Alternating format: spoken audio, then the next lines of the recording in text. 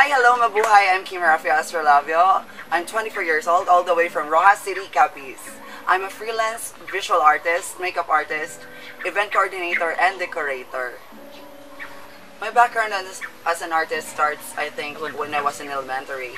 I discovered my talent by, of course, um, sketching stick figures and houses in my notebooks instead of taking notes.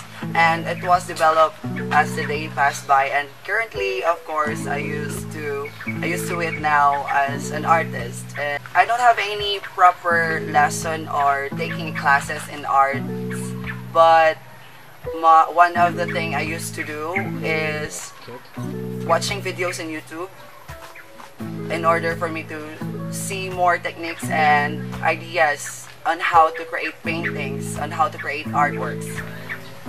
During my college days, I think that was a very um, memorable part of my career as an artist when um, I learned to understand myself more, understand how um, magical the world of arts for me.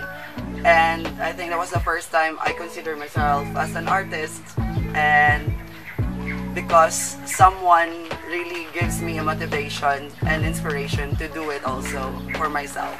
One of the both most memorable piece I made was during the pandemic last 2020 when I used to create trash art pieces made of garbages um, of course donated uh, donated by my neighbors and it is not just only an artwork for me it is also an advocacy and awareness for us enable for us to uh, recreate and recycle the trashes from trash to a beautiful pieces of artworks that of course gives uh, gives attraction and um, colors to our life as a person.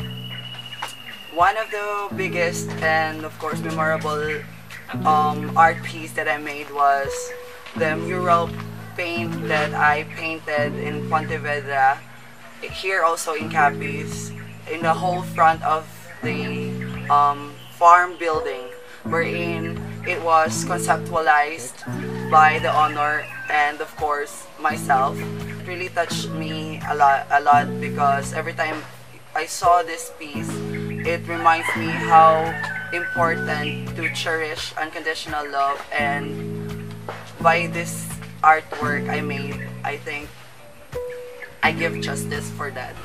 For me, my artwork is just only an artwork, but also helps me to release my stress and anxiety and helps my family to survive during this pandemic. And I do really believe in the statement that your passion is your weapon to prove your existence and your purpose as an artist. Thank you so much and I do really hope that you enjoyed this video. God bless us all us and hugs mabuhay. Proud artist.